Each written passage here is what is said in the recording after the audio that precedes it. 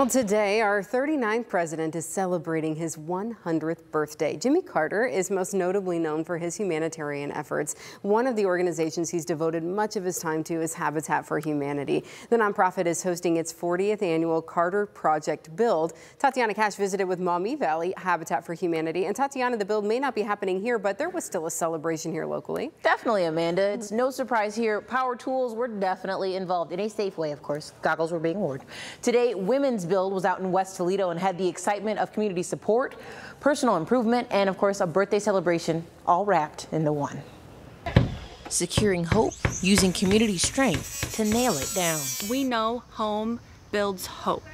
And we just come together as a community to be able to provide that opportunity to someone else cutting down barriers to homeownership for someone these F&M bank employees don't know. Really, it's fun. Teamwork is fun, and um, learning something new is fun, and doing it for someone else is fab fabulous. Maumee Valley Habitat for Humanity's Aaron McPartland says today's women's build is what former President Carter stood for. He really exemplified our mission lived out his faith. And he really brought awareness to the need for housing and also an awareness to get out in your community and to serve and give back. The 39th President of the United States stopped in Toledo back in 1988, well after his presidency, to help Maumee Valley get started building homes.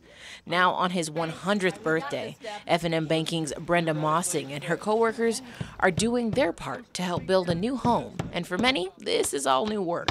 Okay, bye.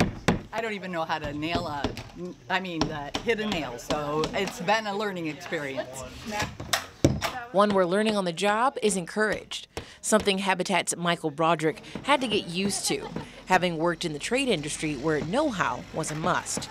Currently celebrating his two year anniversary with the nonprofit, he's in awe of the community. The effort, you know, is put in for all these volunteers, people that are building these houses that don't even know some people, you know, just coming out and you know taking care of the community, and it's it's awesome. It's, yeah, someone left. Someone haha.